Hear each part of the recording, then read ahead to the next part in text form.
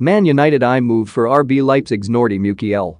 A recent report stemming from Spain has credited Manchester United with an interest in RB Leipzig's Nordi Mukiele. Nordi Mukiele is currently honing his craft in the Bundesliga with RB Leipzig, who he signed for back in 2018. The German outfit snapped the right back up from Montpellier for a reported 16 million euros. Since making the move to Leipzig, Mukiele has gone on to firmly cement himself as a key cog in Leipzig's backline. All told, the Frenchman has featured on 114 occasions for Die Roten Bullen. In said ties, he has scored 8 goals and provided 7 assists. Mukiele would also recently earn his first senior France cap, with that coming on the 7th of September, 2021. Mukiele, as already mentioned, is a right back by trade, and this is where he has played the majority of his career. However, as well as being capable of operating as a right wing back in a back five, Mukiele is also well versed in the center back spot.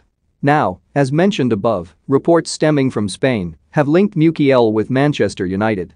According to Fichajes, the Red Devils are said to have Mukiele in their sights for the summer of 2022 with it also expected that Diogo Dalot will depart Old Trafford. No actual transfer fee is mentioned in the report, but they do suggest that, because Mukiele will have just one year left on his current deal next summer, that Man United are looking to take advantage and make an interesting offer so that the German side agree to part with their right back. Leicester City vs Burnley betting tips, preview, predictions, and odds Brentford vs Liverpool betting tips, preview.